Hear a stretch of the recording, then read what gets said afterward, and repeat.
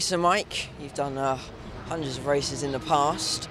Does this feel like a, a normal race weekend, or has this got a sort of special feeling in the air? It's obviously got a different element to it, hasn't it? It's there's so many more people around.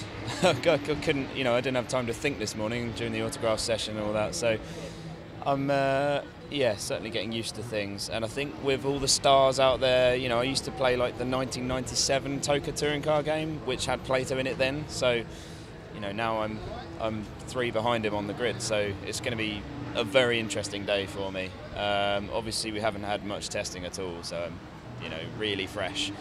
Uh, but we're developing the car every session. We've got changes happening on the front and back, all sorts of stuff happening. So I think we can only go forward at each race and, and go from there. But yes, it's, a lovely day, isn't it?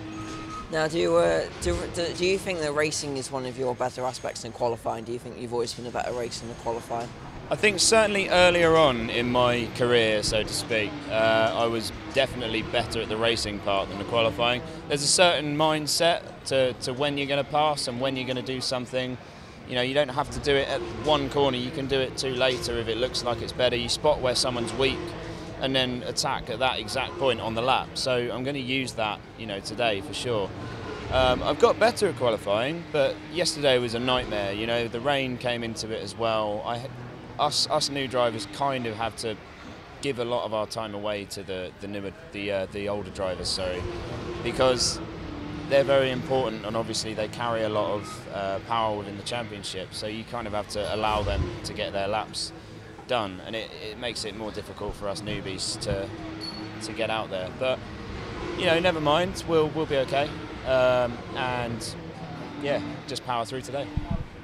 And finally. Uh, rookies, of, of course. Are you going to take this uh, as kind of a, a, learning weekend, a developing weekend, or is it going to going to be kind of aiming for little twenties and take forward to uh, to uh, Donington? I think we'll call it testing with overtakes, something like that. so if, if, if, I go quick and I start passing people, then I'll come through to the teens. I'll, I'll, I'll get going, and I'm, I'm not going to hand over a place to anyone. It's still a race at the end of the day. Once your mind's keyed in, that's just how it goes. Um, but yeah, we definitely would benefit from a couple of test days. So between now and the next round of Donington, I think we're going to, you know, go through everything, uh, learn the car properly, and then start redeveloping it towards the front end, which I'm pretty sure is possible. So, you know, future's bright, like I keep saying.